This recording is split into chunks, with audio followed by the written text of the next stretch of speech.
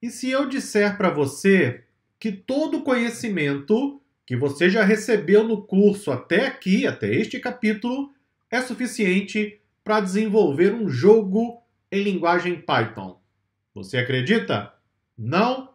Então eu vou provar. Eu gostaria de convidar você a desenvolver junto comigo um game em linguagem Python agora no projeto número 1 deste curso. E você vai perceber o quanto você já sabe sobre linguagem Python. Usaremos somente o conhecimento abordado nos capítulos anteriores. E vamos construir um programa de computador que será um game totalmente funcional para que você possa executar na sua máquina e praticar tudo que já estudamos até aqui no curso.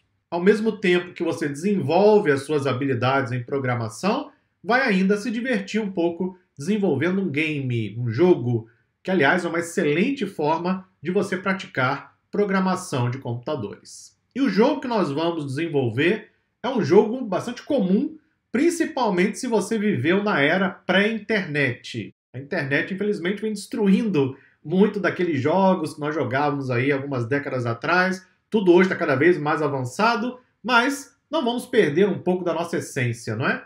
Vamos construir um jogo da forca.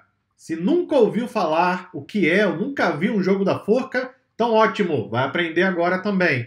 Vou mostrar aqui para você um exemplo de jogo da forca disponível online. Tá aqui o endereço, depois você acessa lá na seção de links úteis. Isso aqui é uma amostra, um exemplo do que é o jogo da forca, nós vamos construir uma versão desse jogo em linguagem Python. Então basta acessar a página, você clica aqui no botão Play, você escolhe um tema qualquer, por exemplo, eu vou escolher Movies, não é? Filmes, e então ele vai gerar uma palavra de forma totalmente aleatória.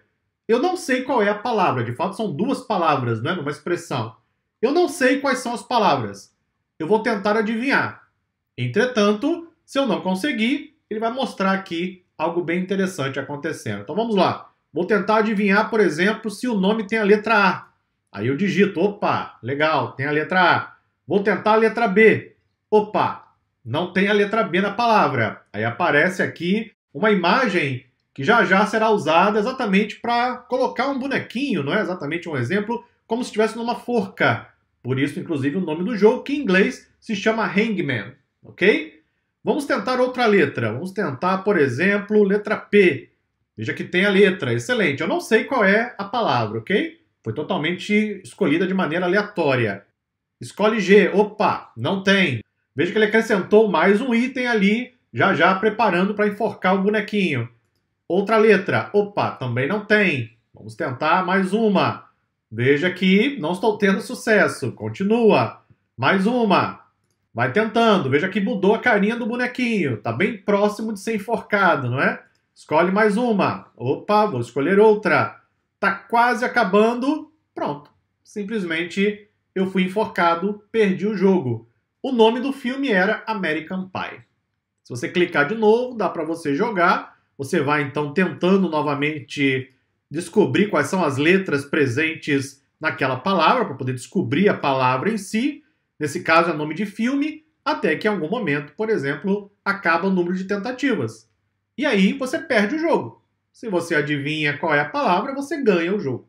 É um jogo simples, mas que vai ajudar você agora a compreender o que é exatamente criar um programa de computador. E eu repito, somente com conhecimento já abordado no curso. Nós estamos chegando mais ou menos cerca de um terço do treinamento você já vai desenvolver um programa de computador completo junto comigo. Eu gostaria então de colocar aqui para você o convite. Me acompanha? Então vamos desenvolver juntos um jogo, um game em linguagem Python. Muito obrigado e até a próxima aula.